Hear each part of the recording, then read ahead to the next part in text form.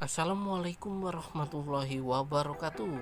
Dalam laga lanjutan Liga Super Malaysia 2024 hari ini Minggu 22 September 2024 Yang mempertemukan Johor Darul Tatsim menghadapi Kelantan Darul Naim FC Yang bakalan berlangsung pada pukul 9.00 malam waktu Malaysia.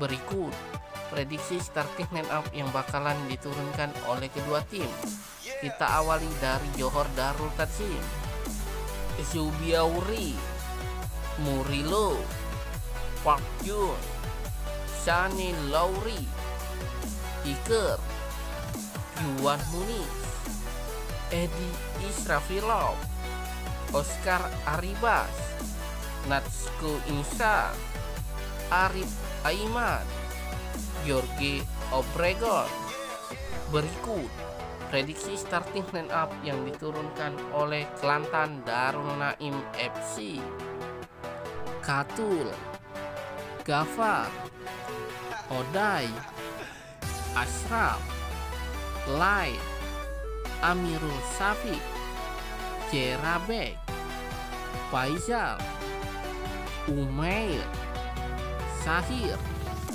Hafizal Itulah prediksi starting line up yang diturunkan oleh kedua kesebelasan.